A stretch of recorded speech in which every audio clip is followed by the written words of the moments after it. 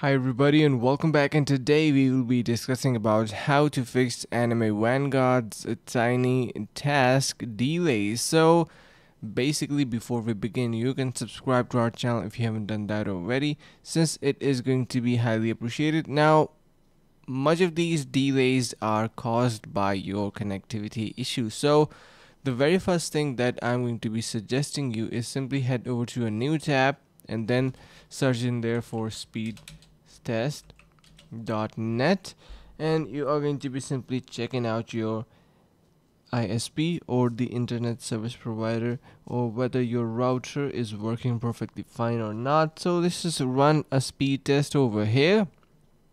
Click on go and you will be able to realize that we can see the ping.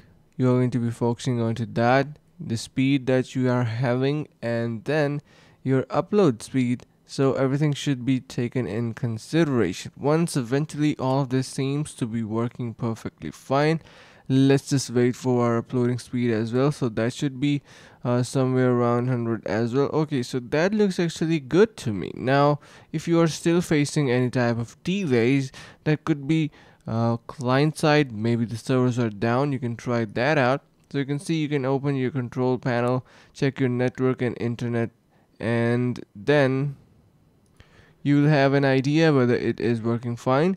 You can right click on the uh, select properties check the box for internet protocol version 4 tcp ipv4 and then click on properties.